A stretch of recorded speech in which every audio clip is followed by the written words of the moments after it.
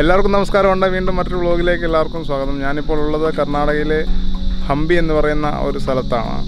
നിങ്ങളിൽ പലരും ചിലപ്പോൾ കേട്ടിട്ടുണ്ടായിരിക്കും ഈ ഹംപി എന്ന് പറയുന്ന ഒരു സ്ഥലം. കാരണം നമ്മുടെ പണ്ടത്തെ വിജയനഗര സാമ്രാജ്യത്തിന്റെ തലസ്ഥാനമായിരുന്നു ഈ ഹംപി എന്ന് പറയുന്ന ഒരു സ്ഥലം. അതുകൊണ്ട് തന്നെ ഈ ഒരു ഏരിയ എന്ന് പറയുന്നത് വളരെ പ്രധാനപ്പെട്ട ഒരു സ്ഥലമാണ്. വിജയനഗര സാമ്രാജ്യം എന്ന് പറഞ്ഞാൽ നമ്മളുടെ സൗത്ത് ഇന്ത്യ മുഴുവനായിട്ട് വ്യാപിച്ച് കിടന്ന വലിയൊരു സാമ്രാജ്യമായിരുന്നു വിജയനഗര സാമ്രാജ്യം. അതുപോലെ തന്നെ യുനെസ്കോയുടെ വേൾഡ് ഹെറിറ്റേജ് സൈറ്റിൽ ഇടം പിടിച്ചിട്ടുള്ള ഒരു സ്ഥലമാണ് ഈ ഹംപി എന്ന് പറയുന്ന സ്ഥലം. ഈ വിജയനഗര സാമ്രാജ്യത്തിന്റെ തലസ്ഥാനമായിരുന്നുകൊണ്ട് തന്നെ ഈ ഒരു ഏരിയ ഫുള്ളായിട്ട് നിരവധി അമ്പലങ്ങളും സ്മാരകങ്ങളും കൊണ്ട് നിറഞ്ഞിരിക്കുന്ന ഒരു സ്ഥലമാണ്. കിലോമീറ്റർ കണക്കിന് സ്ഥലത്ത് ഈ പാറ പോലുള്ള കുന്നുകളും അതിന്റെ ഇടയ്ക്കെല്ലാം നിരവധി മണ്ഡപങ്ങളും അമ്പലങ്ങളും എല്ലാം നിങ്ങൾക്ക് കാണാൻ സാധിക്കും. എന്തായാലും ഒന്നോ രണ്ടോ ദിവസം കൊണ്ടൊന്നും നമുക്ക് കണ്ടാൽ തീരത്തില്ല. അത്രമാത്രം വലുതാണ് ഈ ഒരു ഹംപി എന്ന് പറയുന്ന സ്ഥലം. എന്തായാലും ജീവിതത്തിൽ എപ്പോഴെങ്കിലും കണ്ടിരിക്കേണ്ട ഒരു മസ്റ്റ് ആയിട്ടുള്ള സ്ഥലമാണ് ഈ ഹംപി എന്ന് പറയുന്ന സ്ഥലം. നിങ്ങൾക്കിവിടെ കാണാവുന്ന പോലെ എന്റെ ഈ പുറകിൽ കാണുന്ന ഏരിയ ഫുള്ള് ഈ ഹംപിയുടെ ഓരോരോ ഭാഗങ്ങളാണ്. ഇതിന്റെ ഓരോ കുന്നിന്റെയും സൈഡിലും ചരിവിലും ഒക്കെ ആയിട്ട് നിരവധി മണ്ഡപങ്ങളും അമ്പലങ്ങളും ഉണ്ട്. നമ്മൾ ഓരോന്ന് കണ്ടു വരുമ്പോഴാണ് നമ്മൾ ഇതിന്റെ ഇടയ്ക്കത്തെ ഓരോ സീക്രട്ടൊക്കെ നമ്മൾ മനസ്സിലാക്കി വരുന്നത്. അതുകൊണ്ടാണ് ഞാൻ പറഞ്ഞത് ഒന്നോ രണ്ടോ ദിവസം കൊണ്ടും നമ്മൾ കണ്ടാൽ തീരില്ല അത്രമാത്രം വലുതാണ് ഈ ഹംപി എന്ന് പറയുന്ന സ്ഥലം.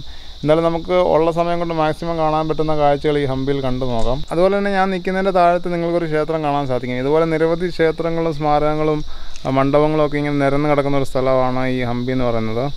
ഈ കാണുന്ന ഓരോ മലയുടെയും അപ്പുറം വേറൊരു മലയും അതുപോലെ തന്നെ നിരവധി ക്ഷേത്രങ്ങളൊക്കെ ഉണ്ട്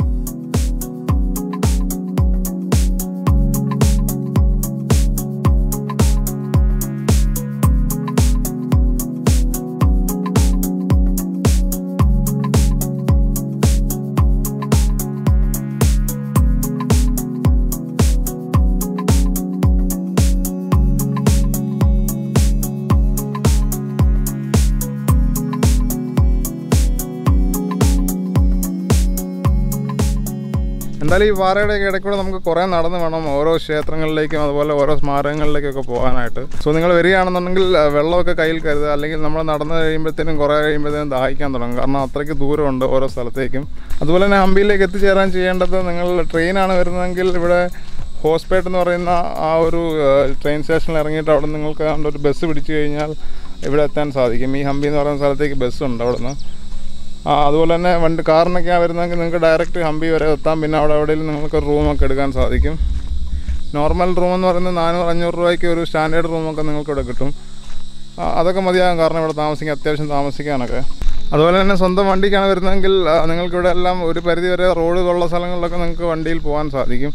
അല്ലെങ്കിൽ ഇവിടെ നിങ്ങൾക്ക് സൈക്കിളോ ബൈക്കോ ഒക്കെ റെന്റിന് കിട്ടും. അതൊക്കെ എടുത്തു കഴിഞ്ഞാൽ അങ്ങോട്ടും ഇങ്ങോട്ടൊക്കെ നിങ്ങൾക്ക് ഈസി ആയിട്ട് പോകാൻ സാധിക്കും. നമ്മളിങ്ങനെ ഓരോ ഏരിയയിലോട്ട് പോകുന്ന സമയത്തെല്ലാം ഈ സൈഡിലുള്ള ഓരോ മണ്ഡപങ്ങളും ചെറിയ ചെറിയ അമ്പലങ്ങളൊക്കെ കാണാൻ സാധിക്കും. എവിടെ പോയാലും കാരണം നമ്മൾ ഏത് ഏരിയ കൂടെ പോയാലും അവിടെ നിരവധി മണ്ഡപങ്ങളോ അല്ലെങ്കിൽ ടെമ്പിൾസോ ഒക്കെ നിരവധി നമുക്ക് കാണാൻ സാധിക്കും.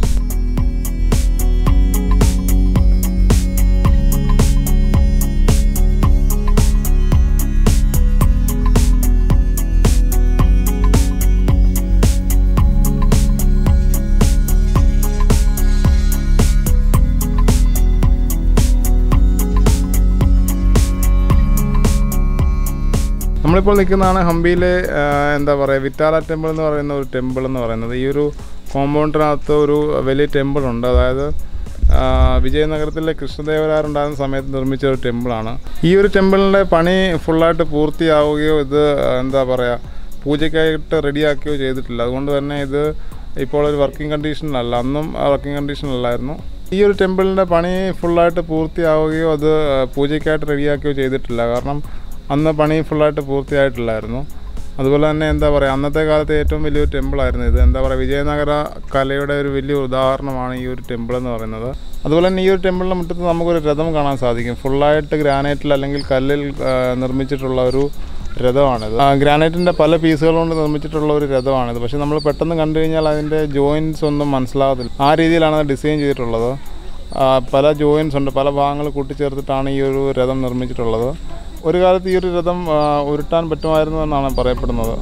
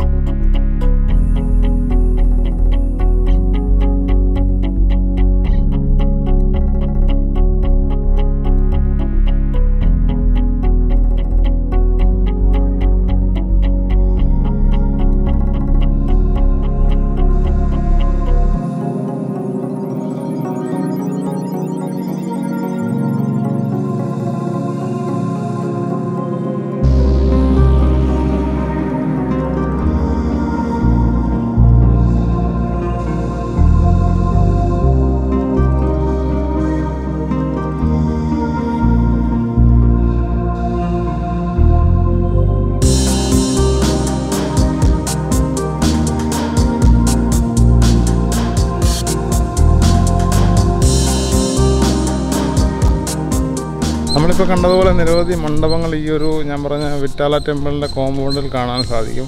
പല പല ആവശ്യങ്ങൾക്ക് യൂസ് ചെയ്തുകൊണ്ടിരുന്ന മണ്ഡപങ്ങളാണ് ഇവയെല്ലാം. നിരവധി തൂണുകളും മറ്റുമായിട്ട് ഓരോ മണ്ഡപങ്ങളുണ്ട് ഇവിടെ. അതുപോലെ തന്നെ ഈ ഒരു കോമ്പൗണ്ടിനുള്ളിൽ എന്താ പറയുക മ്യൂസിക്കലായിട്ട് സൗണ്ട് കേൾക്കുന്ന ടൈപ്പിലൊരു സിസ്റ്റം ഉണ്ടായിരുന്നതാണ് പറയുന്നത്. നിരവധി തൂണുകളും മറ്റുമായിട്ട്.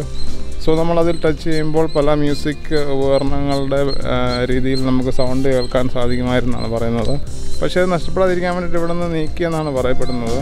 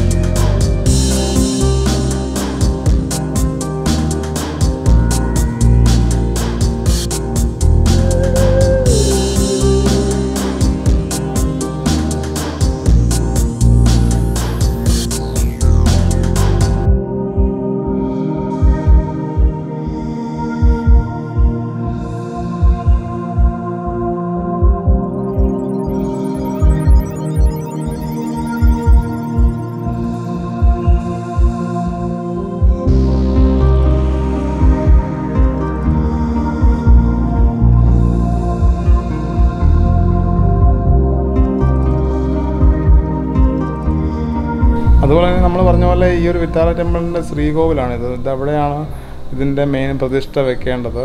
അതുപോലെ തന്നെ ഈ ഒരു ശ്രീകോവിലിന് നേരെ ഓപ്പോസിറ്റായിട്ട് പുറത്തേക്ക് നോക്കിക്കഴിഞ്ഞാൽ നമ്മൾ മുമ്പ് കണ്ട ആ ഒരു രഥം കാണാൻ സാധിക്കും. ആ കല്ലുകൊണ്ടുള്ള രഥം കാണാൻ സാധിക്കും.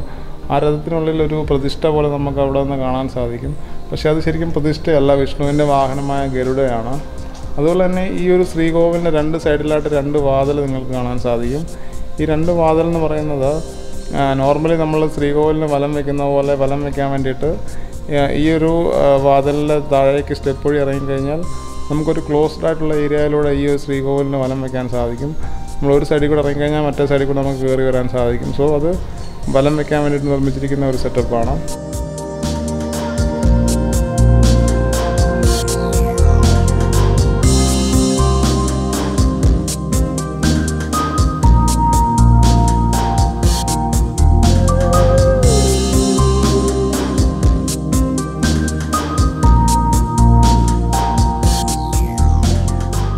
തന്നെ എന്റെ പുറകിൽ കാണുന്നതാണ് തുങ്കഭദ്ര റിവർ എന്ന് പറയുന്ന ഒരു റിവർ ഈ ഹംപിയിലൂടെ ഒഴുകുന്ന ഒരു റിവറാണ് ഇത്. ഹംപിയെ എന്താ പറയുക രണ്ട് രീതിയിൽ വേർതിരിക്കുന്ന റിവർ എന്ന് തന്നെ പറയാം. കാരണം ഈ റിവറിന്റെ രണ്ട് സൈഡിലും ഹംപി ഏരിയ തന്നെയാണ്. ഈ രണ്ട് റിവറിന്റെ രണ്ട് സൈഡിലും നമുക്ക് നിരവധി സ്മാരകങ്ങൾ അതുപോലെ തന്നെ ക്ഷേത്രങ്ങളും മറ്റും കാണാൻ സാധിക്കും.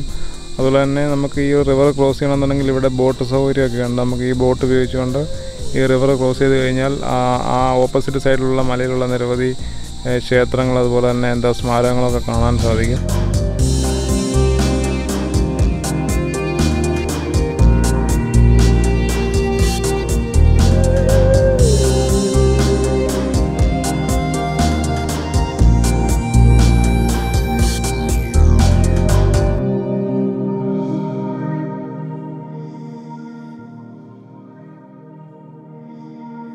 അതുപോലെ തന്നെ ഈ റിവറിന്റെ സൈഡിൽ നമുക്കൊരു ഹനുമാൻ ടെമ്പിളൊക്കെ കാണാൻ സാധിക്കും. ഈ ഹനുമാൻ ടെമ്പിളിൽ നമ്മൾ രാവിലെ സമയത്ത് വരികയാണെങ്കിൽ നിരവധി കുരങ്ങൾ പല ടൈപ്പിലുള്ള കുരങ്ങൾ നമുക്ക് കാണാൻ സാധിക്കും.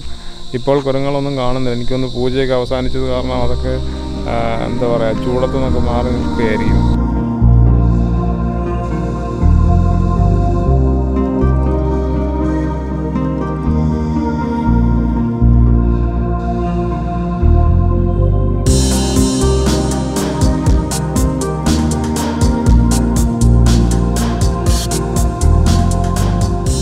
നമ്മളിപ്പോൾ കണ്ടത് ഒക്ടാഗണൽ ബാത്ത് അല്ലെങ്കിൽ ക്യൂൻസ് ബാത്ത് എന്ന് പറയുന്ന ഒരു സംഭവമാണ്. അതായത് റോയൽ ഫാമിലിയിലുള്ള രാജ്ഞിമാരും മറ്റും കുളിക്കാൻ വേണ്ടി ഉപയോഗിച്ചുകൊണ്ടിരുന്ന ഒരു സ്വിമ്മിംഗ് പൂൾ പോലത്തെ സെറ്റപ്പാണ്. നിങ്ങൾ അതിന്റെ നടുക്കൊരു പ്ലാറ്റ്ഫോമും അതുപോലെ ഒക്ടാഗണൽ ഷേപ്പിലുള്ള അതിന് ചുറ്റുമുള്ള വരാന്തയും മറ്റും കണ്ടു കാണും. ആ ഒരു നടുക്കത്തെ പ്ലാറ്റ്ഫോമിനും അതുപോലെ ആ ഒക്ടാഗണൽ ഷേപ്പിലുള്ള ആ ഒരു വരാന്തയ്ക്ക് നടുവിലുള്ള ആ ഒരു ഗ്യാപ്പിലാണ് വെള്ളം നിറച്ചിട്ടിരുന്ന സ്വിമ്മിംഗ് പൂളായിട്ട് ഉപയോഗിച്ചുകൊണ്ടിരുന്നത്. റോയൽ ഫാമിലിയിലുള്ളവർ കുളിക്കാൻ വേണ്ടി ഉപയോഗിച്ചിരുന്ന ഒരു സെറ്റപ്പാണ്. അത് നമ്മൾ ഈ വരുന്ന റോഡ് സൈഡിൽ നിന്ന് കുറച്ച് അകത്തോട്ട് കയറി വിജനമായ പ്രദേശത്താണ്.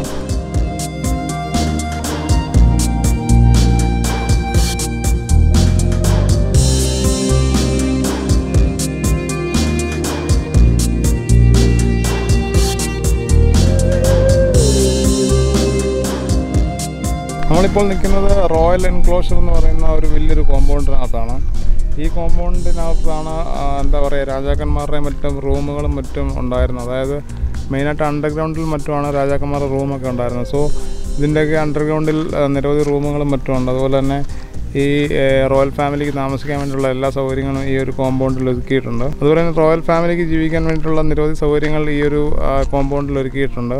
അതുപോലെ തന്നെ ഇപ്പം എന്റെ പുറകിൽ ഇപ്പോൾ കാണുന്നതാണ് മഹാനവമി ഡിബ്ബ എന്ന് പറയുന്ന ഒരു പ്ലാറ്റ്ഫോം ഒരു പിരമിഡ് രൂപത്തിൽ നിർമ്മിച്ചിട്ടുള്ള ഒരു പ്ലാറ്റ്ഫോമാണിത് ഈ ഒരു പ്ലാറ്റ്ഫോം എന്ന് പറയുന്നത് ഇവിടുത്തെ റോയൽ സെറമണിക്ക് മറ്റും പ്രോഗ്രാംസിനൊക്കെ വേണ്ടിയിട്ട് ഉപയോഗിക്കുന്ന ഒരു സെറ്റപ്പാണ് കാരണം ഇതിന്റെ മേളിൽ പ്ലെയിനായിട്ടൊരു സ്റ്റേജ് പോലത്തെ സെറ്റപ്പാണ് സോ ഇവിടെ റോയൽ സെറമണിക്ക് വേണ്ടിയിട്ട് മറ്റും ഉപയോഗിക്കുന്ന ഒരു പ്ലാറ്റ്ഫോമാണ് ഈ മഹാനവമി ഡിബ്ബ എന്ന് പറയുന്ന ഒരു സംഭവം.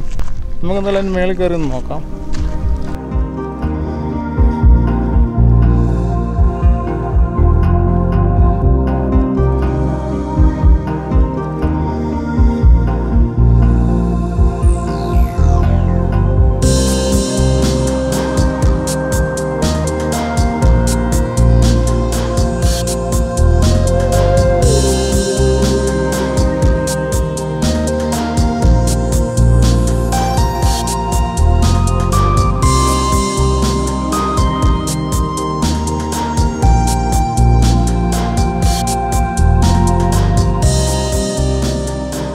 സോ ഈ മഹാനവമി ടിപ്പയുടെ മുകളിൽ നിൽക്കുകയാണെന്നുണ്ടെങ്കിൽ നമുക്ക് ഈ റോയൽ എൻക്ലോഷറിന്റെ ആ ബൗണ്ടറി കാണാൻ സാധിക്കും.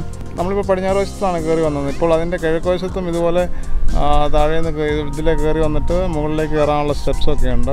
സോ ഞാൻ പറഞ്ഞതുപോലെ ഈ ഒരു റോയൽ എൻക്ലോഷറിനകത്താണ് റോയൽ ഫാമിലി താമസിച്ചിരുന്നത്. അതുപോലെ തന്നെ ഇവിടുത്തെ ആവശ്യങ്ങൾക്കായി വെള്ളം കൊണ്ടുവന്നിരുന്ന ചാനൽ നിങ്ങൾക്ക് കാണാൻ സാധിക്കും. നമുക്കവിടെ ആ ഒരു വശത്തു നിന്നാണ് ആ ചാനൽ തുടങ്ങി ഇങ്ങനെ വന്നിട്ട് അവിടെയാണ് അത് അവസാനിക്കുന്നത്. സോ അതിലൂടെയാണ് വെള്ളം ഇവിടെ എത്തിച്ചുകൊണ്ടിരുന്നത്. സോ ഇത് കൂടാതെ തന്നെ നിരവധി പ്ലാറ്റ്ഫോമുകൾ നമുക്ക് ഈ ഒരു റോയൽ എൻക്ലോഷറിനകത്ത് കാണാൻ സാധിക്കും. ഓരോരോ പരിപാടിയും കാര്യങ്ങൾക്ക് വേണ്ടി ഉപയോഗിച്ചിരുന്ന പ്ലാറ്റ്ഫോമുകളൊക്കെ ആയിരിക്കും അത്. നമ്മൾ ഹംപിയെ പറ്റി പറയുമ്പോൾ ഹംപിയുടെ നല്ല കാലത്തെക്കുറിച്ച് മാത്രം പറഞ്ഞാൽ പോലെ കാരണം ശരിക്കുള്ള ഹംപി ഇങ്ങനെയല്ലായിരുന്നു. ഇത് നശിപ്പിക്കപ്പെട്ട അവസ്ഥയിലാണ് നമ്മളിപ്പോൾ ഹംപി കാണുന്നത്. ഈ വിജയനഗര സാമ്രാജ്യം അല്ലെങ്കിൽ ഹംപി തകരുവാൻ കാരണം ഇവിടെ ഉണ്ടായ വലിയൊരു കൊള്ളയാണ്. കാരണം വിജയനഗര സാമ്രാജ്യം കൊള്ളയടിക്കപ്പെടുകയും ഇവിടുത്തെ നിധികളും അതുപോലെ തന്നെ പണവും എല്ലാം കൊള്ളക്കാർ കൊള്ളയടിക്കുകയും അങ്ങനെയാണ് ഈ ഒരു ഹംപി തകരുന്നതും ഈ ഒരു അവസ്ഥയിലേക്ക് എത്തുന്നതും. അതുപോലെ തന്നെ ഹംപി കൊള്ളയടിച്ചപ്പോൾ കിട്ടിയ വജ്രങ്ങളും മറ്റും ഈ കൊള്ളക്കാർ ഈ എന്റെ പുറകിൽ കാണുന്ന പാൻ സുപ്പാരി ബസാറിൽ വെച്ചാണ് ഇത് വിറ്റുകൊണ്ടിരുന്നത്. നിങ്ങളിപ്പോൾ എന്റെ പുറകിൽ കാണുന്നതാണ് ഹംപിയിലെ വീരുപക്ഷ ടെമ്പിൾ എന്ന് പറയുന്നത്. അതിലേക്ക് ക്യാമറ കടത്താൻ അനുവാദമില്ല. അതാണ് എനിക്ക് വ്ലോഗ് ചെയ്യാൻ പറ്റാത്തത് അതിന്റെ അകത്ത്. ഈ ഒരു ക്ഷേത്രം എന്ന് പറഞ്ഞു കഴിഞ്ഞാൽ ഏഴാം നൂറ്റാണ്ട് മുതൽ കണ്ടിന്യൂസ് ആയിട്ട് ഫങ്ഷനിങ് ആയിട്ടുള്ള ഒരു ക്ഷേത്രമാണ് ഈ വീരുപക്ഷ ടെമ്പിൾ എന്ന് പറയുന്നത്. ഇന്ത്യയിൽ തന്നെ ഒരേ ഒരു ക്ഷേത്രമാണ് ഏഴാം നൂറ്റാണ്ട് മുതൽ ഇത്രയും ലോങ് ആയിട്ട് ഫങ്ഷൻ ചെയ്തുകൊണ്ടിരിക്കുന്ന ഒരു ടെമ്പിൾ എന്ന് പറയുന്നത്. ആദ്യം ഈ കാണുന്ന രൂപങ്ങളൊന്നും ഇല്ലായിരുന്നു. ആദ്യം ജസ്റ്റ് ഒരു എന്താ പറയുക ചെറിയൊരു മണ്ഡപം അല്ലെങ്കിൽ കോവിൽ മാത്രമേ ഉണ്ടായിരുന്നുള്ളൂ ഈ ഒരു ക്ഷേത്രത്തിന്. അതിനുശേഷം പണിത് പണിത് വന്നതാണ് ഈ കാണുന്ന ഗോപുരങ്ങളെല്ലാം തന്നെ. ഈ രണ്ടാമത്തെ ഗോപുരം ഏതാണ്ട് ആയിരത്തി അഞ്ഞൂറ്റി അമ്പത്തി മൂന്നിൽ പണിതാണ്. അതിനു മുമ്പ് ഇവിടെ ചെറിയൊരു മണ്ഡപം മാത്രമേ ഉണ്ടായിരുന്നുള്ളൂ. അതുപോലെ തന്നെ ഈ ഒരു വീരപക്ഷ ടെമ്പിളിനെ ചുറ്റിപ്പറ്റിയിട്ടാണ് ഹംപിയിലെ കഥകളും അതുപോലെ തന്നെ ചരിത്രങ്ങളെല്ലാം കിടക്കുന്നത് തന്നെ. അതുപോലെ ഇപ്പോഴും ഈ ഒരു ക്ഷേത്രത്തിന്റെ ഇടതുവശത്തായിട്ട് ആർക്കിയോളജിക്കൽ സർവേ ഓഫ് ഇന്ത്യയുടെ എക്സ്കവേഷൻ നടന്നുകൊണ്ടിരിക്കുകയാണ്. ഇപ്പോഴും നിരവധി കല്ലുകളും സ്തൂപങ്ങളും ഒക്കെയാണ് ഇവർ കുഴിച്ചു നോക്കുമ്പോൾ കിട്ടിക്കൊണ്ടിരിക്കുന്നത്. ഇവിടെ മാത്രമല്ല ഈ ഒരു ഹംപിയിലെ പ്രധാന ഭാഗങ്ങളിലെല്ലാം ഇപ്പോഴും എക്സ്കവേഷൻ നടക്കുന്നുണ്ട്. സോ അതാണ് ഞാൻ പറഞ്ഞത് ഈ ഹംപിയിൽ നമ്മൾ എവിടെ നോക്കിയാലും പുരാവസ്തുക്കളും അതുപോലെ ക്ഷേത്രങ്ങളും മാത്രമേ കാണാനുള്ളൂ. അത്രയ്ക്ക് വലിയൊരു സ്ഥലമാണ് ഈ ഹംപി എന്ന് പറയുന്നത്. സോ നിങ്ങളിന്ന് കണ്ടതൊന്നുമല്ല ഹംപിയിലെ കാഴ്ചകളെന്ന് പറയുന്നത്. കാരണം ഇവിടുത്തെ ഭയങ്കര ചൂട് കാരണം ഞാൻ ഈ ഒരു വ്ലോഗ് ചുരുക്കുകയാണ്. എന്തായാലും നിങ്ങൾ ഹംപിയിൽ വരികയാണെങ്കിൽ കൂടുതൽ കാഴ്ചകൾ കാണാൻ സാധിക്കും. ഇവിടെ കൃഷ്ണ ടെമ്പിൾ ഉണ്ട്. അതുപോലെ തന്നെ രാജാക്കന്മാരുടെ ഒന്നോ രണ്ടോ ഫോർട്ടും കൂടി ഉണ്ട്. അതെല്ലാം നശിപ്പിക്കപ്പെട്ട രീതിയിലാണ്. അതിന്റെയൊക്കെ ഫൗണ്ടേഷൻ മാത്രമേ നമുക്കിപ്പോൾ കാണാൻ സാധിക്കുകയുള്ളൂ. അതുപോലെ തന്നെ ആ ഓരോ സ്ഥലങ്ങൾ അതായത് എന്താ പറയുക അവരുടെ റൂം അതൊക്കെ നിന്ന് ആ ഒരു ഫൗണ്ടേഷൻ മാത്രമേ നമുക്ക് കാണാൻ സാധിക്കുകയുള്ളൂ. കാരണം അവയെല്ലാം തന്നെ നശിപ്പിക്കപ്പെട്ട് കഴിഞ്ഞു കഴിഞ്ഞു. എന്തായാലും നിങ്ങൾ ഹമ്പിയിൽ വരികയാണെന്നുണ്ടെങ്കിൽ ഈ ചൂട് സമയത്ത് വരാതിരിക്കുക. വരുമ്പോൾ ഒരു മൂന്നാൽ ദിവസം എടുത്തിട്ട് മിക്ക നല്ല പ്രധാനപ്പെട്ട കാഴ്ചകളെല്ലാം കണ്ടിട്ട് പോവുക. അതുപോലെ തന്നെ കൂടുതൽ സമയം ഉണ്ടെന്നുണ്ടെങ്കിൽ നിങ്ങൾക്ക് ഈ അടുത്തുള്ള മലകളിലൊക്കെ ഒന്ന് ഹൈക്കിങ് ചെയ്യാം. കൂടുതൽ കാഴ്ചകളൊക്കെ കാണാൻ പറ്റും. എന്തായാലും ഇന്നത്തെ വ്ലോഗ് നിങ്ങൾക്ക് ഇഷ്ടമാണെന്ന് പ്രതീക്ഷിക്കുന്നു. ഇഷ്ടമായെങ്കിൽ ലൈക്ക് ചെയ്യുക അതുപോലെ തന്നെ സബ്സ്ക്രൈബ് ചെയ്യുക. എന്തായാലും നമുക്കിനി മറ്റൊരു വ്ലോഗിലൂടെ കാണാം. അതുവരെ ഗുഡ് ബൈ